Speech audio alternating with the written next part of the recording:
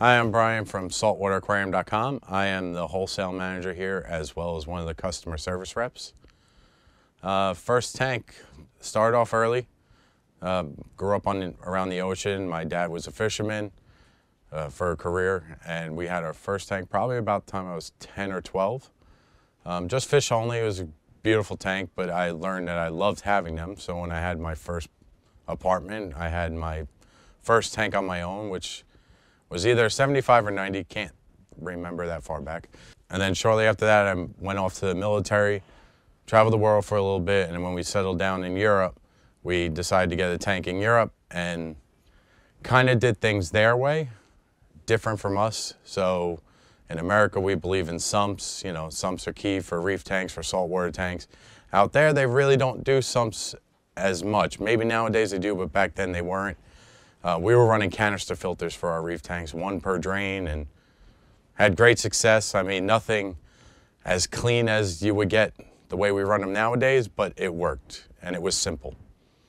Um, after that, we moved back to the States, started back off with another 90, quickly moved up to a 230, the uh, Waterbox tank, and then we added on a 450 gallon what was supposed to be predator tank turned into a reef tank.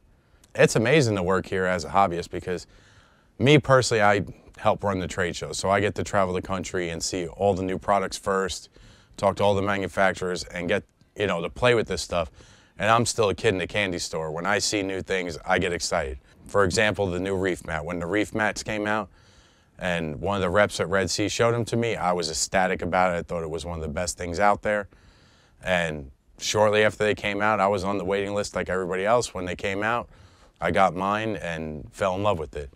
And that happens time and time again with products, coral, fish, you name it. My personal favorite fish is a blonde naso tang. I think they're a gorgeous fish. They swim all around the tank and they're just amazing to watch swim around. Easiest advice or best advice would be keep it simple. Don't overthink things. Don't overthink the problems. All right, nothing happens good overnight in this hobby, and nothing happen, no repairs, no fixing anything happens overnight.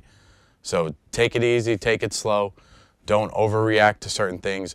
A lot of the time, the waiting game will clear a lot of this stuff up.